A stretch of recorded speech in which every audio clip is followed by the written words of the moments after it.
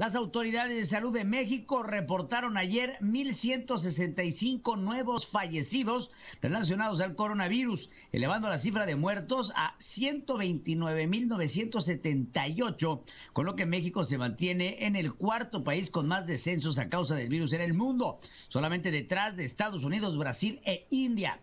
Antes de las cifras, el presidente Andrés Manuel López Obrador dijo que México han podido enfrentar mejor la pandemia. Así dice todavía el hipócrita del presidente.